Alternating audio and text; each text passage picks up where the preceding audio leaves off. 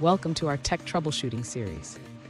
Today, we're tackling a frustrating issue that many developers encounter when working with Docker and PyTest. Our viewer is experiencing an import mismatch error while running tests inside a Docker container, even though everything works perfectly on their local machine. Let's dive into the details of this problem and explore how to resolve it.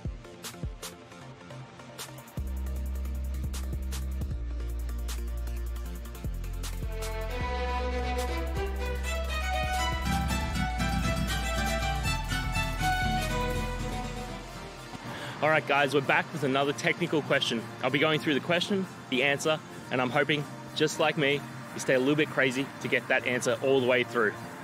Guys, let's get started. The error you're encountering is an import mismatch error while running PyTest inside a Docker container. This typically indicates a mismatch between the expected module path and the actual path in your Docker environment.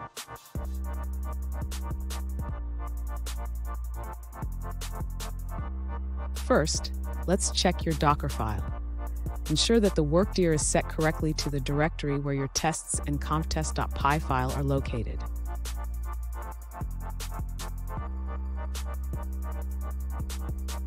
Next, verify that your conftest.py file is present in the specified directory.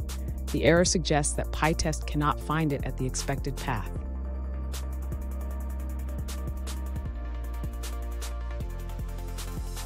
The paths are correct, consider checking your volume mounts in the docker run command. Ensure that the local directory is correctly mapped to the container's workdir.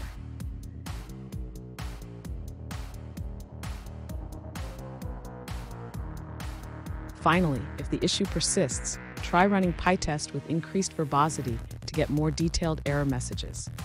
This can help identify the root cause.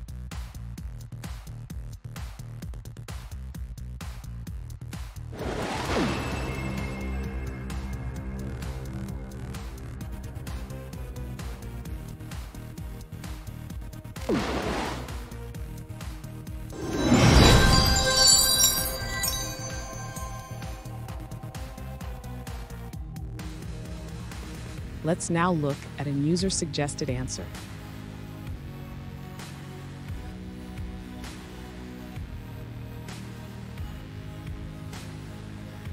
If you're encountering an import mismatch error while running PyTest, it might be due to hidden PyCache files. These files can be found in your coverage directory.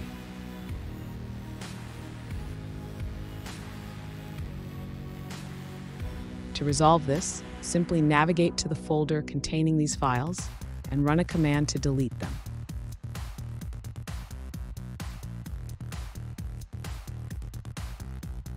After removing the PyCache files, your PyTest should work without any issues.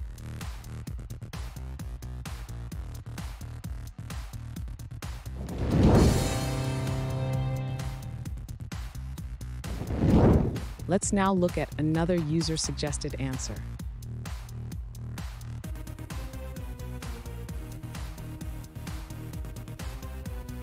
The user encountered an import mismatch error while running PyTest due to setting the Python path to the root of their repository. This included a worktrees folder with multiple Python packages, causing conflicts.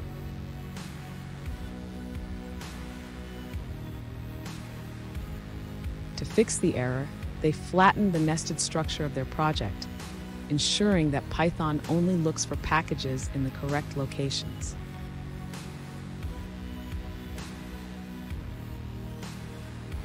And that's it, guys. I hope the videos helped find that resolution that you're looking for.